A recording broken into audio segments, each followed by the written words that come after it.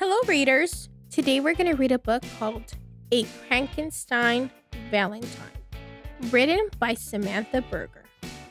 Have you seen my little sweetheart, Crankenstein?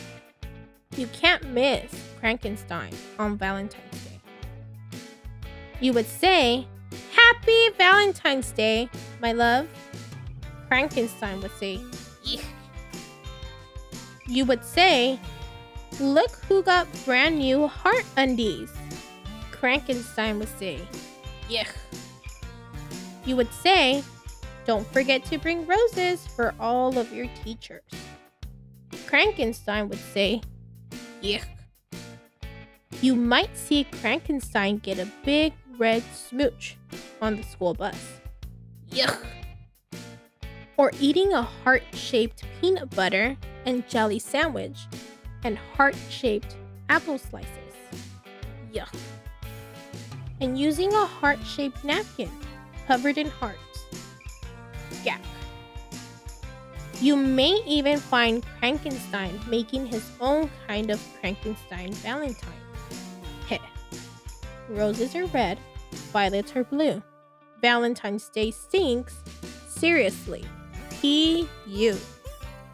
You could certainly find him biting into a chocolate with surprise hairy coconut inside. Yuck. Crankenstein does not care for that kind of chocolate. Or helping to make the mushy, gushy Valentine's Day garland. Crankenstein does not appreciate helping to make the mushy, gushy Valentine's Day garland and you're guaranteed to find Crankenstein in the Valentine's Day school pageant. Crankenstein never said he wanted to be in the Valentine's Day school pageant. Nope, there's absolutely no way, no doubt, not now, not ever, that Crankenstein wants anything to do with Valentine's Day. Except for maybe one thing best friend